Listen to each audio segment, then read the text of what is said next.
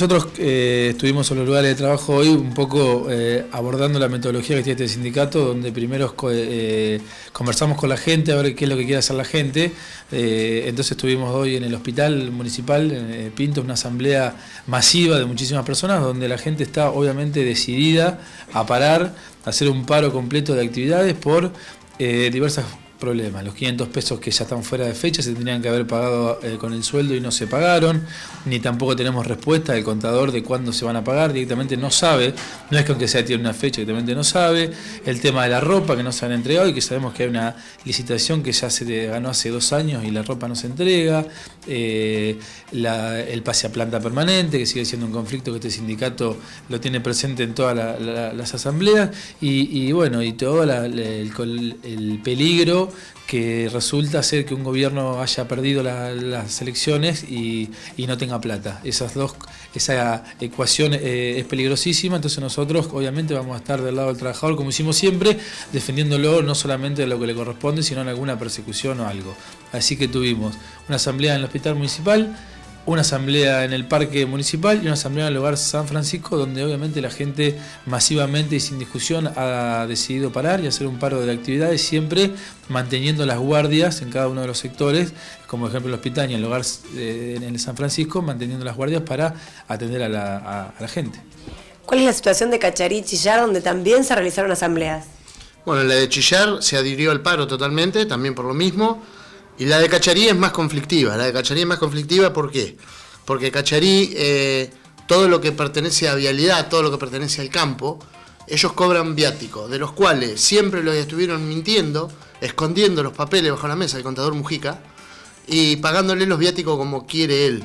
Le deben cinco meses de viático, del cual los cinco meses de viático el valor es más o menos aproximadamente son 40 mil pesos. No estamos hablando de una fortuna, o sea que lo que no hay es voluntad no tiene voluntad. Así lo han decidido los trabajadores, yo estuve el martes en Cacharí, y si ellos para el día lunes no tienen los cinco meses depositados de viático y le deben cinco meses de horas extras también, pero si no le pagan para el día lunes los cinco meses de viático, se va a cerrar el corralón. Se va a cerrar el corralón y se le va a tomar el municipio. Eso yo vine, se lo planteé y él dijo que lo iba a ver y lo iba a analizar.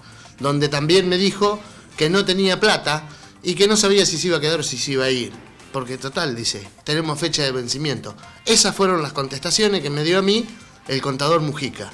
Respecto al hogar de, San, de, Cacharí, están las mismas condiciones que están todos acá.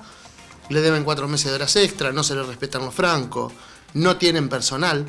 Eh, están trabajando con cinco o seis personas menos, donde se pidieron los reemplazos. No se pidieron contratos nuevos, se piden los reemplazos por gente que está con licencia. Nunca se lo dieron, no les atienden las puertas están neutralizados, ellos están neutralizados. Lo que sí pudo hacer el contador el día viernes, por un apriete que tuvo de parte del hospital de Cacharí, es pagarle las horas extra para que no le paren en el hospital, que era el punto de conflicto más grande que tenía en Cacharí. Igualmente el punto de conflicto lo tiene hoy porque el corralón, lo que es la calle y lo que es el hogar, eh, ya están de paro a partir de este momento. ¿Continúan los aprietes, las amenazas, situaciones con los empleados? De hecho, sí. Eh, están trasladando gente, pero, o sea, fuera, fuera totalmente de la norma. O sea, eh, nosotros teníamos una ley que dejó de existir el 6 de julio, que tenía un articulito que decía que estábamos en disponibilidad. En base a eso, basándose en esa, en esa antigua norma, este, siguen trasladando gente como eh, tratando de tapar el apriete. O sea, yo te traslado o mandame a tal persona que yo me hago cargo y después vemos cómo le cortamos el contrato. Este, están amenazando por todos lados de, esa forma, sí, por fuera de la ley. ¿Los empleados eh, manifiestan preocupación al respecto? ¿Qué, les han dicho? Por supuesto que sí, nosotros lo que queremos es transmitirle tranquilidad porque desde el 6 de julio está la, nueva ley 14656 que no permite este tipo de cosas, o sea, para hacer un traslado tiene que estar primero de acuerdo el empleado, o sea, avalar el traslado del empleado y segundo, tienen que, eh, tiene que hay formas y normas que se tienen que respetar y no se están haciendo. ¿Hay áreas específicas donde esta situación se da en forma más reiterada? Sí, todo el área del, secretario de Gobierno Salud, que es el que más gente tiene a cargo. O sea, es el área más, más amplia de la municipalidad porque tiene dos secretarías grandes y es el que está manejando todo este tipo de cosas.